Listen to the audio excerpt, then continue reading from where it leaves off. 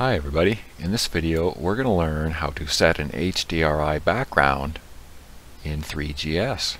There's basically three steps. First we're going to have to get a loader to help us load our HDR image. Then we're going to have to get an HDR image and then we'll write some code to make it all work. So let's get the loader first. Let's Google Three.js Mr. Doob GitHub and click on that. Alright, we need to go into the examples folder and we're using 3 module JS so we're going to go into the modules folder JSM and we'll need to scroll down and, and go into the loaders folder.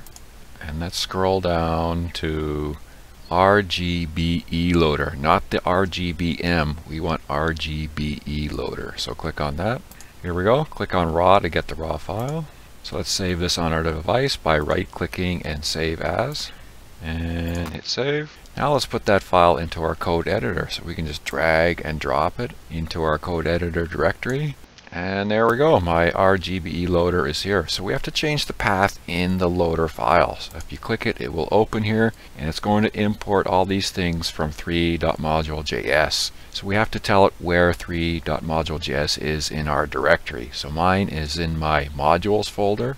So I'm just going to change this to, so now RGBE loader can find three.module.js in my directory here. So now we just got to get an HDRI file.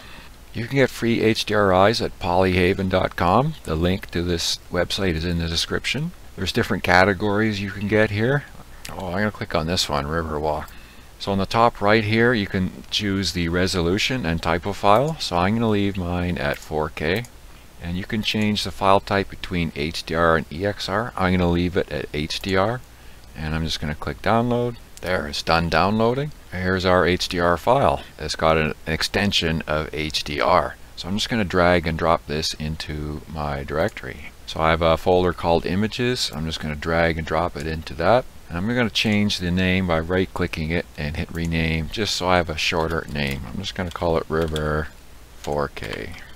Now let's add some code to make this work. So first let's import the loader module. So in my script tag where type equals module, I'm just going to put import RGBE loader from, and in the from I'm putting the path where I save the RGBE loader.js file. Now we're going to use the RGBE loader to load the HDR image and set it as our background texture. So we're going to put new RGBE loader and then dot load in inside there. You're putting the path to wherever that HDR file is. Mine's in my images folder and this is the file name river4k.hdr and then we're going to run a function passing that texture into this function. So texture dot mapping is equal to 3.equirectangular reflection mapping. So we're taking that equirectangular image. This is an equirectangular image.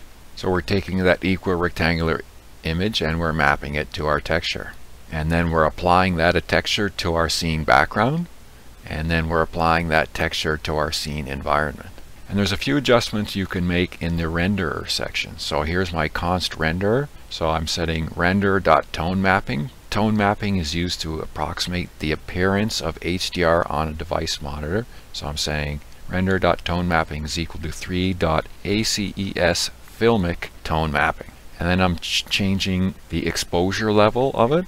So I'm using render.tone mapping exposure equal to, the default is 1, and you're going to have to play with this number. It basically makes the image brighter or darker. And then I'm setting the way colors are interpolated. So interpolated means what is the color between two colors. By default, this is uh, set to a linear gradient, we're going to use the sRGBE method. So it's render.output encoding is equal to 3 sRGB encoding. And that's it. Here's our HDRI background in Three.js. Cool.